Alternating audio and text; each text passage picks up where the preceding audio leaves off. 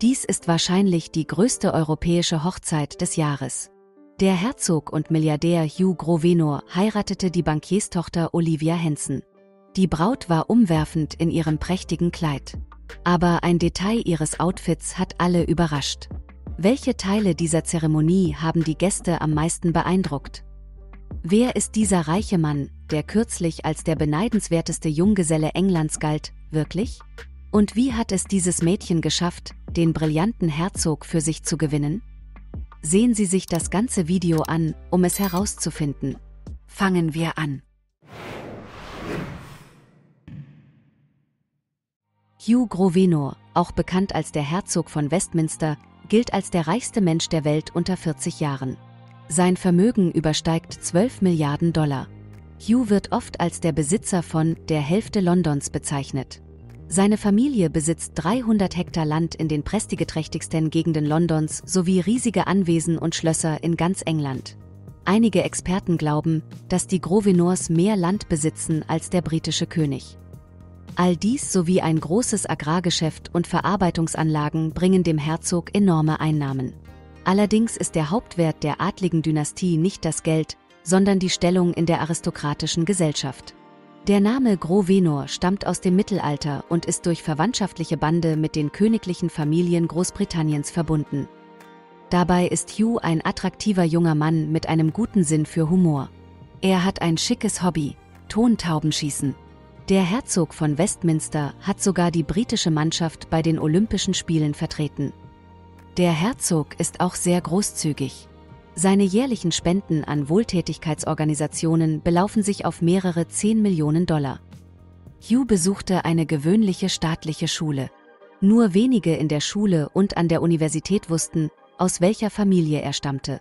Zu seinem 21. Geburtstag organisierte sein Vater eine luxuriöse Party im Familienanwesen Eton Hall, die 5 Millionen Pfund kostete. Auf der Party waren 800 Gäste, darunter auch Prinz Harry. Die Freunde des jungen Grovenor waren schockiert und sagten, Oh mein Gott. Ich saß im Unterricht neben ihm und hatte keine Ahnung, dass er so viel Geld hat. Doch bei der Feier war eine Gästin anwesend, die alles über Hugh wusste. Harit Tomlinson, seine Freundin aus dem College, war über mehr als zehn Jahre Hughes Freundin. Sie trennten sich immer wieder und kamen dann wieder zusammen. Bis zum Alter von 32 Jahren galt dieser schöne und unglaublich reiche junge Mann als begehrter Junggeselle. Dieser Status machte ihn zur Hoffnung vieler Londoner Damen aus den höheren Kreisen der Aristokratie. Im Frühjahr 2023 wurden ihre Träume zerstört. Und zwar nicht durch eine Prinzessin mit blauem Blut, sondern durch ein einfaches Londoner Mädchen namens Olivia. Hugh und Olivia verkündeten ihre Verlobung und die bevorstehende Hochzeit. Wie konnte die Tochter eines Börsenmaklers den brillanten Herzog erobern, mit dem sich Dutzende aristokratischer Familien Englands verschwägern wollten? Olivia selbst kann nicht als Mädchen aus einfachen Verhältnissen bezeichnet werden. Sie wurde in die Familie eines erfolgreichen Bankiers hineingeboren, der ein großes Vermögen gemacht hat. Ihre Mutter Caroline ist eine Nachfahrin des Marquis von Bristol, der aus einer der ältesten Bankiersfamilien Großbritanniens stammte. Die Eltern umgaben ihre Tochter mit Fürsorge und investierten eine Menge Geld in ihre Ausbildung. Olivia besuchte eines der prestigeträchtigsten Bildungseinrichtungen Englands, das Marlborough College. Zu den Absolventen dieser Schule gehören Kate Middleton, die Ehefrau des britischen Premierministers Samantha Cameron und sogar der bekannte Rockmusiker Chris de Burgh. Vor zwei Jahren stellte Olivias College-Freundin sie Hugh Grovenor vor. Zuerst waren ihre Beziehungen freundschaftlich, aber allmählich entwickelten sie sich zu etwas Größerem. Sie verliebten sich ineinander. Man sah sie oft bei Konzerten und gesellschaftlichen Ereignissen, und das Mädchen verbrachte lange Zeit in den zahlreichen Anwesen der Grovenor-Familie. Gemeinsame Lebensanschauungen, ähnliche Interessen, Tätigkeitsbereiche und natürlich gegenseitige Sympathie. Das waren wohl die Zutaten für die warmen Beziehungen zwischen Hugh Grovenor und Olivia Henson. Endlich fand die Hochzeit statt, über die in der Presse am meisten berichtet wurde. Es war das größte gesellschaftliche Ereignis in Großbritannien und möglicherweise auch in Europa. An der Veranstaltung nahmen die prominentesten Aristokraten teil. Die Hochzeit fand in der legendären Kathedrale von Chester statt. Viele Könige und Königinnen Englands wurden hier getraut. Die Braut kam mit ihrem Vater in einem alten Bentley aus dem Jahr 1930 in der Kathedrale an. Sie war unglaublich schön in ihrem prachtvollen Kleid. Vielen fiel das elegante Detail von Olivias Hochzeitsoutfit auf. Normalerweise tragen Bräute weiße Schuhe, die mit dem weißen Kleid harmonieren. Doch an Olivias Füßen befanden sich dunkelblaue Samtschuhe mit hohen Absätzen, die mit einer spektakulären Schleife verziert waren. Es scheint, als würde sie nur einer alten englischen Tradition folgen. Es gibt ein altes Sprichwort, das einem Paar, das heiratet, Glück bringen soll. Etwas Altes, etwas Neues, etwas Geliehenes, etwas Blaues, ein Sixpence im Schuh. Wir sind nicht sicher, ob sie eine Münze im Schuh hatte, aber der Blauton passt zur Stimmung.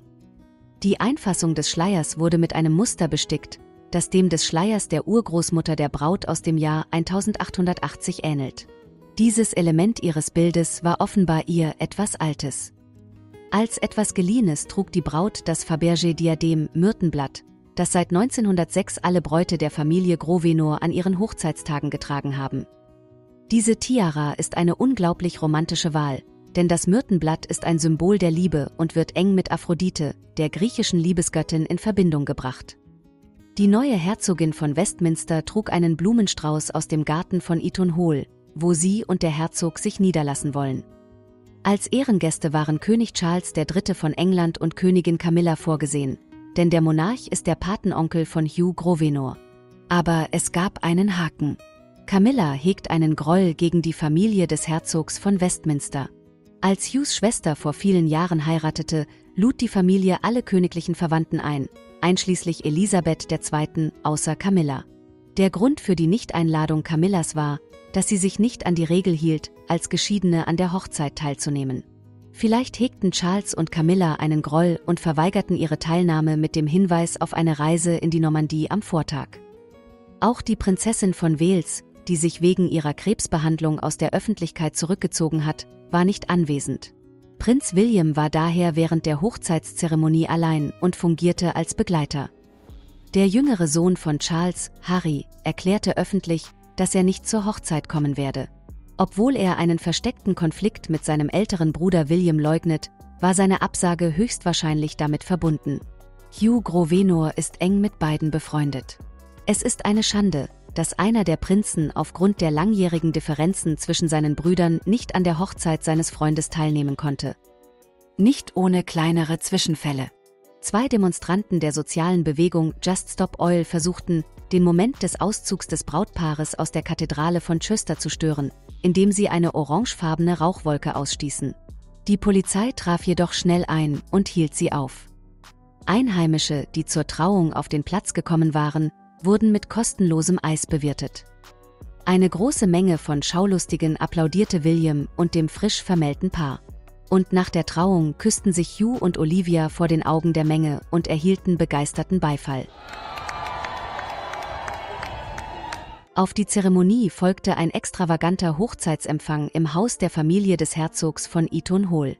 Es handelte sich jedoch um eine private Feier, die nicht in der Presse veröffentlicht wurde. Wir bewundern dieses schöne Paar und wünschen ihnen ein glückliches Eheleben.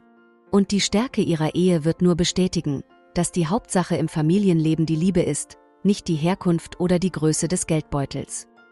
Was hat Ihnen am meisten an dieser großartigen Hochzeit gefallen? Teilen Sie Ihre Gedanken in den Kommentaren mit. Vielen Dank fürs Zuschauen. Vergessen Sie nicht zu liken und zu abonnieren. Bis zum nächsten Mal.